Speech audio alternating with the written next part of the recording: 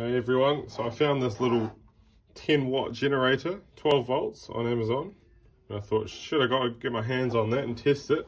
Because that is very unbelievable to me that you'll be able to pull 10 watts from something this small out of your hose. So it's arrived, I've bodged a little hose onto it because these threads are not a very common size. I don't know, maybe in America they are, but I've had to stretch and hot glue this bloody thing on, but let's give it a go. We can track the voltage on here.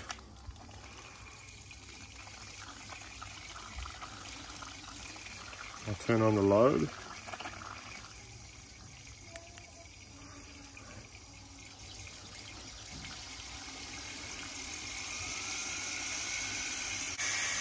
Alright, the maximum seems to be about 1 1.3 watts.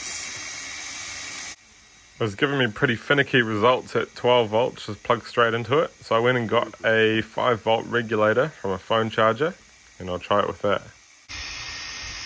I've got a couple of super bright 1 watt LEDs, but remember they only pull 1 watt when it's exactly 5 volts. And here the voltage is dropping a little bit. They both go, but not certainly not at full brightness.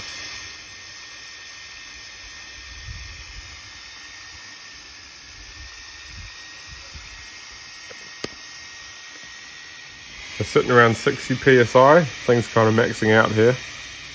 I'm just confirming it with my load tester. You can crank this thing up slowly until it turns itself off. So I've done it a few times here. It's really hard to read the screen at the bottom, but that's the wattage. And it seems to cut out at 1.2, 1.3 watts every time. So nowhere near 10 watts, and that's full high pressure coming out of the hose, 60 psi. Here's how it was listed on Amazon and we can clearly see 10 watts at 12 volts. But look down here 220 milliamps.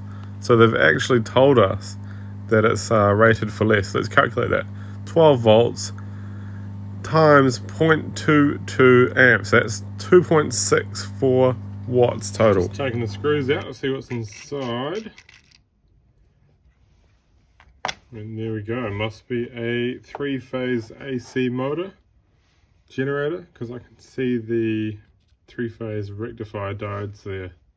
There's six diodes. And there's probably smoothing capacitors, maybe? Oh, there we go.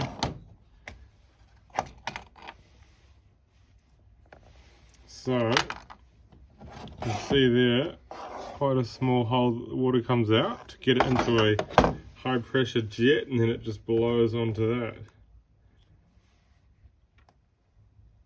So that'll be the magnets around the outside there. Sort of waterproof connection and the coils are on the inside there. Interesting. What if it loses efficiency having to go through this plastic here?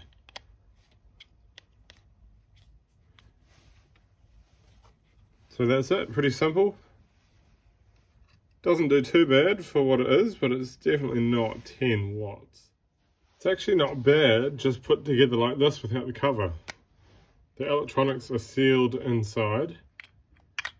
I might experiment with my little splitter setup here.